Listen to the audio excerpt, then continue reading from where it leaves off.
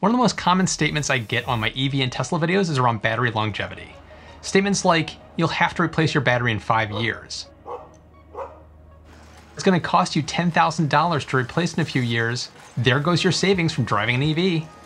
And from EV owners, I hear questions like, I've lost 8 miles of rated range on my car. Should I be worried? Well, I've partnered with the developer of the fantastic iOS app, Stats to take a look at some of the real world data to see if we can address those concerns when it comes to the Model 3. I'm Matt Ferrell. Welcome to Undecided.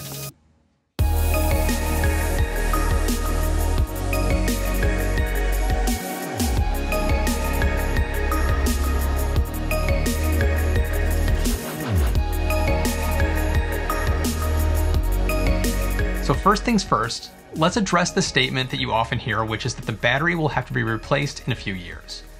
This statement feels like it would be true.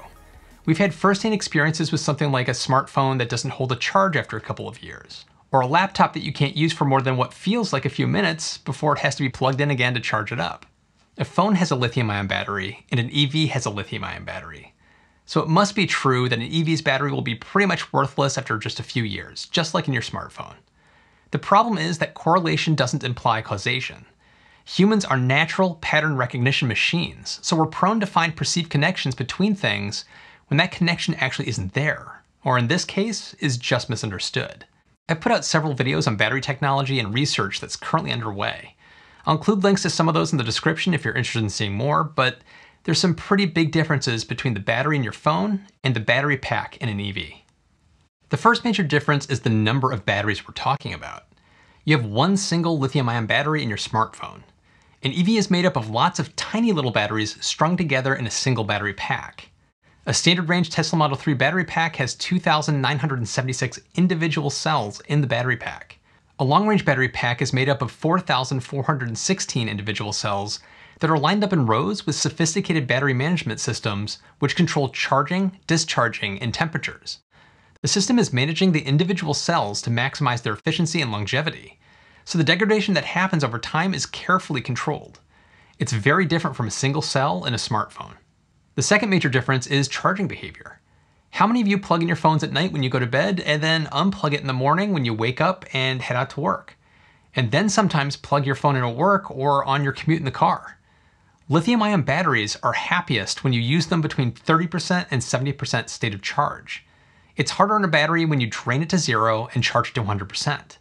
So constantly pushing your phone's battery to 100% again and again, as well as leaving it plugged in at 100% for extended periods, will actually accelerate the degradation of the battery.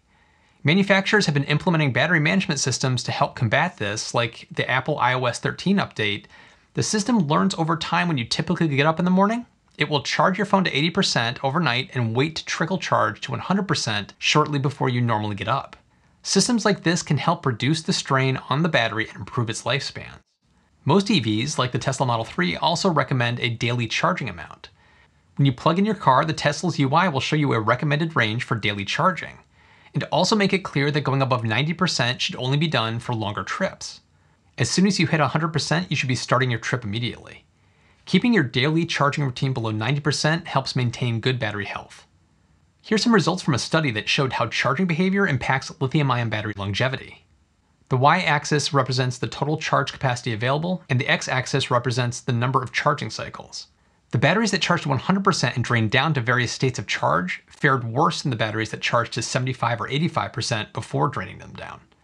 To make it very clear, let's compare two data points from the chart. Both of these used 50% of the battery's capacity for each cycle but one charged to 100% and the other charged to 75%. After a thousand charging cycles, the 100% battery was down to just above 90% of the original capacity. Extend that out and the gap widens after thousands of charging cycles.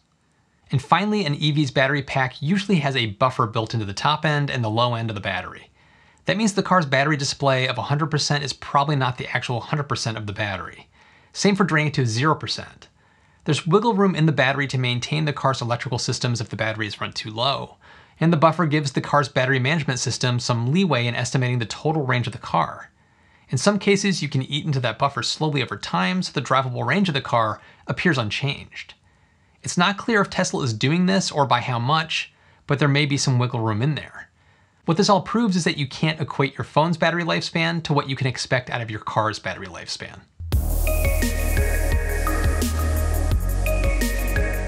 So let's take a look at some of the data that Ramin, who's the developer of Stats, compiled to see how the Tesla Model 3 batteries are holding up. Looking at about 15,000 data points of the Stats battery range data, you can see some pretty clear trends taking shape. If we look at the median range reported for the long-range rear-wheel drive Model 3, you can see a quick decline in range over the first 15,000 miles, and then it starts to level off a bit. This fits with what we're seeing from the Model S, which also slows down degradation as you accumulate more miles. It's a nonlinear form of degradation. If we say that the average driver puts on about 12,000 miles a year, you might go from 324 miles to 313 miles, or a 3.4% drop in range in the first year. Year 2 goes from about 313 to 308, which is about another 1.6% drop the following year. And the long range all wheel drive Model 3 shows similar drops, going from 310 to 301 in the first 12,000 miles, which is about a 2.9% drop. And just like the rear wheel drive Model 3, the all wheel drives following 12,000 miles decreases by 1.6%. Tesla warranties their long range batteries for 8 years or 120,000 miles at 70% of original charge. That means a 310 mile all wheel drive long range battery pack could potentially be around 217 miles of range after 8 years in the worst case scenario. Break that down for a year by year rate of degradation, and you might be looking at a loss of 11.6 miles per year. But as you can see from the data, Tesla, like any other company's warranty, is based on the worst case scenario and how much you drive. A 12,000 mile a year driver could see an 11 mile decrease on the long range rear wheel drive Model 3 in year one, but only a 5 mile drop in the following year. The long term degradation should, if it follows what we've been seeing on the Model S and X, come in well above that 70% of original charge in 10 years for the average 12,000 mile a year driver. We can also take a look at the data in a broader view to see the full spread of reported ranges for each 1,000 miles driven. If you've never seen a violin graph before, this helps to illustrate the spread and concentrations within each bucket. Each curve is essentially a tiny bell curve on its side. The majority of people will fall into the center of the curve where it's highest, which is also where the median falls. The lowest points of the curve are the outliers, which are less common, but still might be experienced by a few of you out there. I'm actually one of those outliers myself in this data. There's a lot to take in when you're looking at this type of view, but there was something that jumped out at me from the distribution. There's a lot of rated range fluctuations in the spread from grouping to grouping, but there's a big wrinkle to remember with rated range. It's an estimate. And that estimate, which is generated using the battery management system, can lose calibration with the battery pack's true maximum capacity. If you're charging to 80% every day, there may be a little drift in that estimate, which can be rebalanced by charging to 90% or full for a long trip on occasion. Software updates that get pushed out to your car may reset some of those estimates, which can also contribute to why you see them fluctuate up and down at times. I've seen this myself. After the V10 release, my rated range started to climb back up. Charging and driving habits, like not charging or driving every day, can play a role in degradation numbers looking high even though your battery health is just fine. Ramin recently released a new app, Battery Compare, where you can plug in your rated range, current charge percentage, and odometer to see where your car falls within the data that I've shared in the video. Looking at my car, I'm falling outside the norm on the low end for cars that match my criteria. I'm keeping an eye on it, but I'm not too worried about it though. As EV owners, we need to learn to look past the small fluctuations we may see in our rated range and keep our eye on the longer term picture. Following charging and usage best practices like charging to 80 or 90% each day, only charging to 100% for longer trips, and to start driving as close to reaching 100% as you can. Just as I showed in the data, when you look long term, you should be seeing something minor like a 4 to 5% drop over the first 24,000 miles. EVs are still relatively new to a lot of people, so there's a lot of fear, uncertainty, and doubt out there. It's easy to jump to conclusions based on limited experiences and believe some of the misinformation. But even EV owners like myself can get caught up in the range anxiety and be hyper vigilant about tracking your battery's rated range estimates and any small drop can make us worry and get concerned about how long our car is going to hold out. In the end, my takeaway after seeing these numbers and doing a little digging, just relax and enjoy the car. So where do you fall in the spectrum of EV drivers?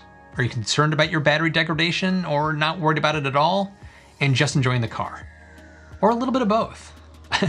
I've never really been worried about mine, but I kind of obsess over numbers and data, so have been tracking mine pretty closely out of curiosity more than anything else.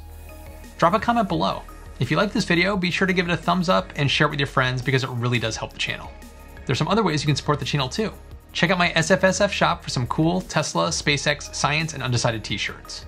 There's also other links in the description for some great gear and discounts. And an extra big thank you to all of my Patreon supporters. Your support is really helping to make these videos possible. Be sure to check out my Patreon page for additional details about joining the crew. And if you haven't already done so, consider subscribing and hitting that notification bell to get alerts when I post new videos. As always, thanks so much for watching. I'll see you in the next one.